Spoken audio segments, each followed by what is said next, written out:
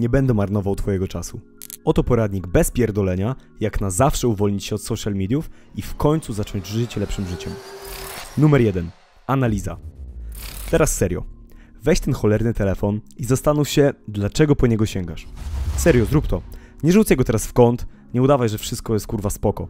Każdego dnia łapiesz się na tym, że scrollujesz Instagrama, TikToka, Snapchata i nawet nie wiesz po co, nie? Więc tu jest moment, żeby się ogarnąć.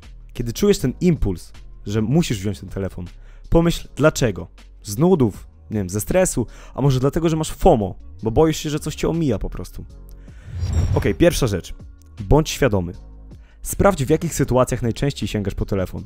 Może to w trakcie nauki, może w momencie, kiedy powinieneś iść spać. Zastanów się, czy to naprawdę coś ci daje? Bo wiesz co, zwykle to zwykłe marnowanie czasu, a czas to ta jedyna rzecz, której nigdy nie odzyskasz. Jest takie powiedzenie: każdy człowiek ma dwa życia, a drugie zaczyna się, kiedy zrozumie, że ma tylko jedno. Więc teraz robimy tak. Kiedy czujesz, że zaraz będziesz odpalał aplikację, zadaj sobie pytanie: czy to mi coś da? Czy naprawdę chcę to zrobić? Bądź świadomy. Każdy nawyk zaczyna się od świadomości. Jak ogarniesz kiedy i dlaczego to robisz, możesz nad tym zapanować. I to właśnie jest ten klucz. Stań się panem swojego czasu, a nie jego pierdolonym niewolnikiem. Numer dwa. Usuń aplikację z telefonu. Słuchaj, tu nie ma co kombinować. Usuń te pierdolone aplikacje z telefonu. Przynajmniej na chwilę. Serio, wywal je. Instagram, TikTok, Facebook, wszystko. I nie bój się, Świat się naprawdę nie zawali, nie przegapisz końca internetu. Ale wiesz co? Jak nie masz tych aplikacji na telefonie, to już nie będziesz co 5 minut odruchowo ich odpalać, żeby zobaczyć, kto wrzucił jakiegoś głupiego mema. To jest jak z cukrem. Im więcej go masz pod ręką, tym częściej podjadasz. Utrudnij sobie do tego dostęp. Korzystaj z sociali tylko na komputerze, jeśli musisz, ale na telefonie? Sorry stary, ale tu zaczyna się detoks. To prosta sztuczka. Wywalasz aplikację i nagle okazuje się, że masz więcej czasu. Brzmi za prosto? Może i tak, ale zaufaj mi, to działa. Bo nagle scrollowanie staje się trudniejsze, takie mniej dostępne, a to oznacza, że zaczynasz go mniej potrzebować. Spróbuj, a zobaczysz, jak nagle twoje życie nabiera więcej sensu.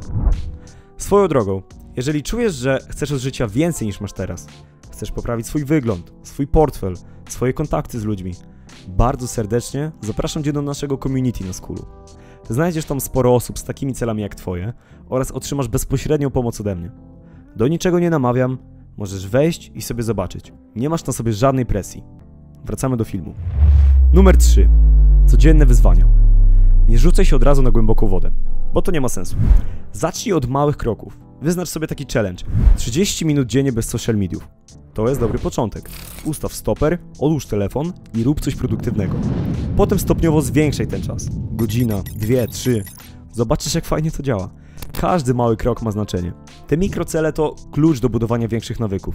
I wiesz co? To naprawdę daje satysfakcję, bo z każdym dniem czujesz, że masz większą kontrolę nad swoim czasem.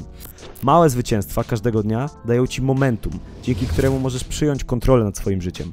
Więc zacznij małymi krokami i codziennie wygrywaj ze sobą. Nawet 30 minut dziennie to cholernie duża zmiana. Numer 4. Aplikacje. Czasem samodyscyplina to za mało. I tu wchodzą aplikacje blokujące social media. Masz takie apki jak Freedom, Stay Focused albo Forest. Co one robią? Blokują ci dostęp do sociali na jakiś czas, który tam sobie ustawisz. Brzmi brutalnie? Może i tak, ale to działa. Kiedy odruchowo sięgasz po telefon, nagle widzisz, że nic nie możesz odpalić. I wtedy musisz ogarnąć coś innego. To jest idealne, jak czujesz, że scrollowanie wymyka się już trochę spod kontroli. Ustaw sobie blokady na konkretne godziny albo limity dzienne, na przykład maksymalnie godzina na social media. I wiesz co? Dzięki temu uczysz się kontrolować czas, zamiast pozwalać, żeby telefon kontrolował ciebie. To jest właśnie prosta, ale cholernie skuteczna metoda. Spróbuj, a zobaczysz jak nagle zaczynasz żyć bardziej świadomie. Ja nazywam się Marcel. Pomagam ludziom w osiąganiu najlepszych wersji ich samych. Jeśli Cię to interesuje, zostaw suba i wbijaj na skula. Do następnego.